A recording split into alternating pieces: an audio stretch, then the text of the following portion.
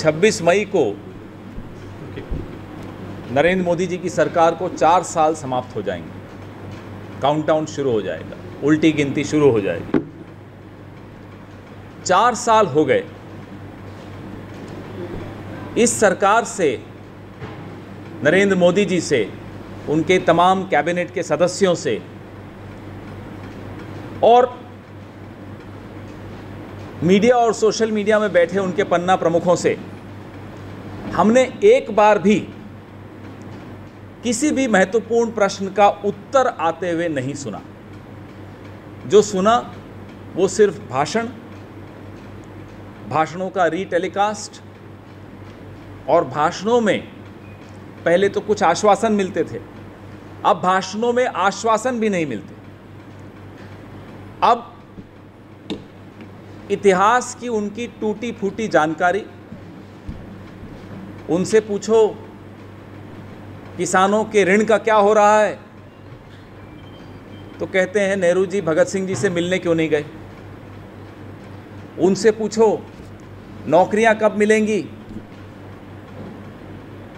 तो कहते हैं कि कांग्रेस ने अपने ही कुछ नेताओं के साथ 75 साल पहले ठीक नहीं किया था।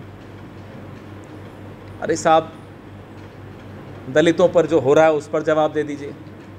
अब हमें समझ में आ रहा है कि उत्तर क्यों नहीं आ रहे। जो महत्वपूर्ण मंत्री हैं मोदी जी की सरकार, वो रक्षा मंत्री तो बेचारी रक्षा मंत्री जी अपने विभाग के प्रति कहीं भी उनका कुछ योगदान क्यों नहीं दिखता, आज समझ में आता। हर हफ़्ते समझ में आता है। आधे से ज़्यादा वक्त तो जो हम खुलासे करते हैं पीयूष गोयल जी के लिए या जय शाह जी के ऊपर तो उनकी रक्षा करती रहती हैं। अरे, आपको देश की रक्षा के लिए रक्षा मंत्री बनाया गया था। आप अपने ही कैबिनेट कोलीग्स के भ्रष्टाचार पर उनकी रक्षा में उतर आती हैं। और बाकी आधे समय विपक्ष पर हमला बोलती हैं, विपक्ष से प्रश्न पूछती हैं। रक्षा मंत्री जी, आपने वादा किया था और आदेश पारित किए थे रक्षा सचिव को। 17 नवंबर 2017 को रक्षा भवन में प्रेस वार्ता के दौरान कोई छिप कर नहीं था, पब्लिकली किया था, सबने सुना था, सबने देखा था। और वो आदेश क्या था? वो आदेश था कि जो रफेल 36 खरीदे थे किस कीमत पर खरीदे थे वो कीमत सार्वजनिक की जाए? यह आदेश रक्षा मंत्री का, रक्षा सचिव को प्रेस वार्ता में 17 नवंबर 2017 को किया था। 5 फरवरी 2018 को इनकार कर दिया कि नहीं बताएँगे सीक्रेट है, कॉन्फिडेंशियल है। रक्षा मंत्री जी, आप अभी भी हिम्मत करके प्रेस वार्ता करने आती हैं, आपकी हिम्मत को हम दाद देते हैं। आपके द्वारा दिए गए आश्वासन को आप ही ने खारिज कर दिया। आपने जो आदेश पारित किया था, उसको आप ही ने खारिज कर दिया। फिर भी आप सबके सामने आकर बड़ी तैश में प्रेस कॉन्फ्रेंस करती अच्छा लगता है देखकर। रफेल के बारे में हमने बहुत बार आपसे चर्चा की है। प्रधानमंत्री जी और रक्षा मंत्री जी उत्तर क्यों नहीं दे रहे? उत्तर कब देंगे? अट्ठावन हज़ार करोड़ का ये जो स्कैम हुआ है रफेल के नाम का। नंबर दो, सार्वजनिक क्षेत्र का उपक्रम, पीएसयू, एचएएल, बैंगलोर में, बेंगलुरु में जो बेस्ड है, उससे आपने तीस हज़ार करोड़ का ऑफसेट का व्यापार बिज़नेस छीन कर अपने एक ऐसे मित्र को दे दिया जिसको इस क्षेत्र में कोई अनुभव नहीं है, जिसका अपना व्यापार डूब रहा है, इसका उत्तर दीजिए, फिर आइए प्रेस वार्ता करने किसी और मुद्दे पर, फिर हम भी सुनेंगे आपकी कोई और बातें। पहले देश ये जानना चाहता है, उसकी जानकारी दीजिए। तैश हमें भी है, क्रोध हम भी कर सकते हैं, गुस्सा हम भी दिखा सकते हैं, और प्रश्न पूछने की तो नैतिक ज़िम्मेदारी हमारी ही है, क्योंकि हम विपक्ष में हैं।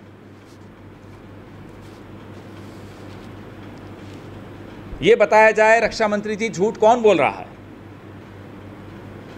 आप कहती हैं कि ऐसा ऑफसेट का कोई काम किसी निजी कंपनी को दिया ही नहीं गया।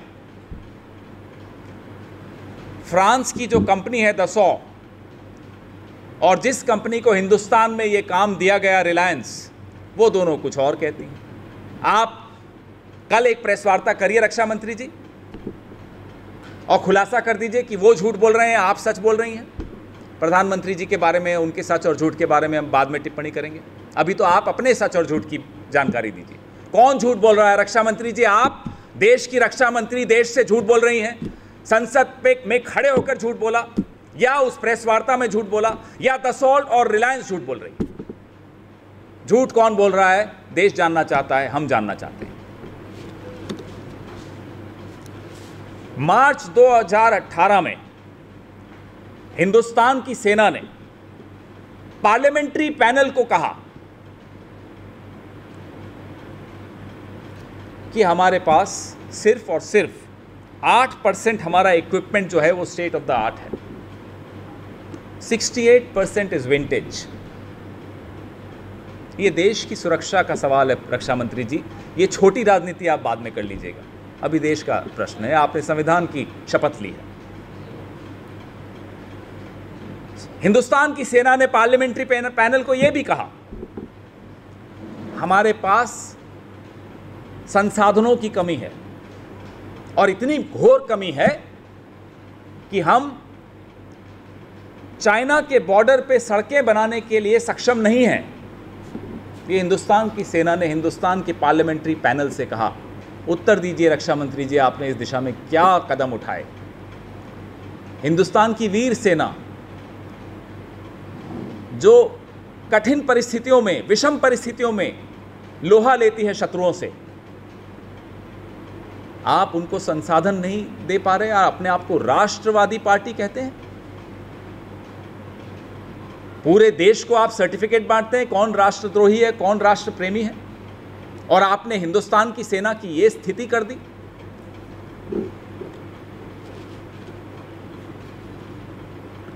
आप देखिए 2018-19 के बजट में जीडीपी का सिर्फ़ 1.58 परसेंट आपने डिफेंस को दिया। लोएस्ट एलोकेशन सिंस 1962 यह असलियत है इस तथाकथित राष्ट्र प्रेमी पार्टी की सरकार की।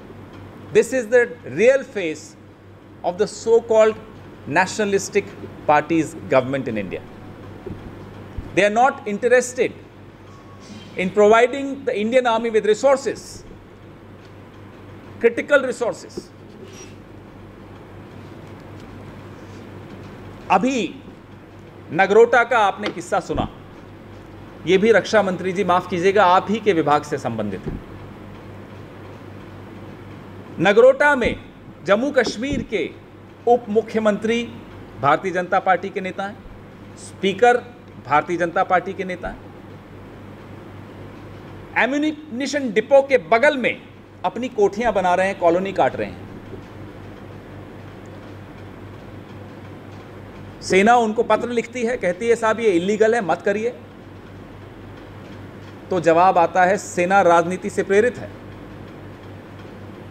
भारतीय सेना जम्मू कश्मीर में इतने सालों से, इतने दशकों से रक्षा कर रही है इस देश की सीमाओं की।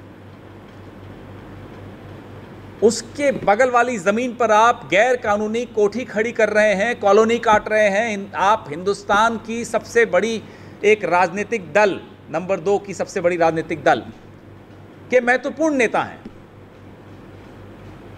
और आप कहते हैं सेना राजनीति खेल रही है आपके साथ? ये जो आप छप्पन इंच की छाती लिए बार बार सेना का दम भरते हैं सेना के साथ राजनीति कर रहे हैं आप, और सेना पर आरोप लगाते हैं कि सेना राजनीति से प्रेरित है। शर्म नहीं आप, आई आपको ये बोलते हुए, क्या उनके खिलाफ, इन दोनों नेताओं के खिलाफ कोई कार्रवाई हुई? कार्रवाई होने की कोई संभावना है? अगर है तो कब है? क्या, क्यों नहीं आपने इनको कारण बताओ, नोटिस दिया कम से कम, वो तो दे देते। क्यों नहीं उन्होंने माफ़ी मांगी? 48 घंटे हो गए इस टिप्पणी को। भारतीय सेना से माफ़ी मांगे, भारतीय जनता से माफ़ी मांगे, भारत से माफ़ी मांगे यह सेना का अपमान नहीं है, भारत एक एक भारतवासी का अपमान किया है। How can you charge the Indian army of playing politics of being politically motivated is in this shameless आपके बाकी भ्रष्टाचार तो हम बताएँगे, लेकिन जो आप सेना के साथ राजनीति करते हैं, माफ़ कीजिएगा, वो हमें बिल्कुल बर्दाश्त नहीं होगा, इस देश को बर्दाश्त नहीं होगा। हमने आपसे कई प्रश्न पूछे। कर्नाटका में इतना बड़ा एक माइनिंग स्कैम हुआ। नौ में से छह केस सीबीआई के आपने रफा दफ़ा करा दिए। क्यों? क्या क्विट प्रो को था? किसको ऑबलाइज कर रहे थे आप कर्नाटका चुनाव से पहले? क्यों क्लीन चिट देना चाह रहे थे? व्यापम में 70 प्रतिशत सीबीआई के अधिकारियों की ट्रांसफ़र हो गई जो व्यापम देख रहे हैं। छप्पन से ऊपर जाने जा चुकी हैं। छिहत्तर लाख छात्रों का जीवन बर्बाद कर दिया व्यापम ने। इस प्रश्न का उत्तर रक्षा मंत्री जी आप देंगी या आपका कैबिनेट का कोई और कुलीग देगा? पीयूष गोयल जी पर आप कुछ बोलना नहीं चाहते। जय शाह पर आप कुछ बोलना नहीं चाहते। 16 लाख प्रतिशत जिसने अचानक अपनी बढ़ा दी कंपनी की कीमत, उस पर आप कुछ बोलना नहीं चाहते। राजस्थान के माइनिंग स्कैम पर आप कुछ बोलना नहीं चाहते। छत्तीसगढ़ के पीडीएस स्कैम पर आप कुछ बोलना नहीं चाहते। आप चले हैं प्रश्न पूछने। Do you have the moral right to even ask anything to anyone before responding to any of these important critical questions that face the country, that face your party, that face your government today? आज सत्ता में आप हैं। आज भी आप विपक्ष की तरह नहीं चल सकते कि आप प्रश्न पूछते चले जाएँगे और उम्मीद करेंगे कि सब हाथ आगे बाँध करके आपको जवाब देंगे। आज जवाब देने की बारी आपकी है। चार साल हो गए हैं, जवाब नहीं आ रहा। और रोज नए प्रश्न पैदा हो रहे हैं। प्रश्न ऐसे जो एक एक एक आम आदमी की जीवन से संबंधित है। दलितों के प्रश्न है, किसानों के प्रश्न है, बेरोजगारों के प्रश्न है, उनका आप उत्तर नहीं दे रहे। आपके अपने भ्रष्टाचार के प्रश्न है। You are mired in corruption from head to toe who will answer those question और रक्षा मंत्री देश की सिर्फ़ और सिर्फ़ अपनी पार्टी की रक्षा करने ही बाहर आती हैं। देश की रक्षा is not her priority she is not interested in even talking about the welfare of the army for providing resources to the army to uphold the dignity and the respect of the army which is being played and trampled around by her own leaders in Jammu and Kashmir by the deputy chief minister and by the speaker of Jammu and Kashmir they belong to the BJP they are most important leaders of the BJP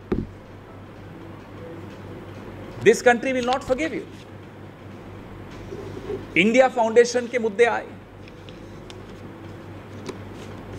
साहबजादा शौर्य दोवल साहब के मुद्दे आए। जिनके एक और company Zeus I don't know how to pronounce it well में partners कौन हैं? जेमिनी फाइनेंशियल सर्विसेज़ जो उन्होंने मर्ज की थी जेउस को, उसके पार्टनर्स के मुद्दे आए। एक global blockchain business council Pakistan में चलती है। सैयद अली अब्बास उसके पार्टनर उत्तर दीजिए, देश जानना चाहता है। आप तो पाकिस्तान के कलाकार, पाकिस्तान के क्रिकेट खिलाड़ी, इन सब पे आपके पास प्रश्न होते हैं। अब हम आपसे पूछ रहे हैं, साहबजादा शौर्या दोवल के बिज़नेस पार्टनर्स पाकिस्तान से हैं? हम आपसे प्रश्न पूछना चाहते हैं। इसका उत्तर दीजिए आप। रक्षा मंत्री जी, आप क्यों चुप हैं? क्योंकि आप ही सबसे अग्रणी होकर आकर बोलती हैं। हर मुद्दे पर बोलती हैं, अपनी डिफेंस छोड़कर, रक्षा मंत्रालय छोड़कर, रफेल छोड़कर, अपने डिपार्टमेंट के डिफेंस डील्स को छोड़कर। तो आप उत्तर दीजिए, इन तमाम प्रश्नों को जो हम बार बार उठा रहे हैं, आज फिर उठा रहे हैं, आज कुछ नए प्रश्न उठा रहे हैं। इन पर भी आप जवाब दीजिए।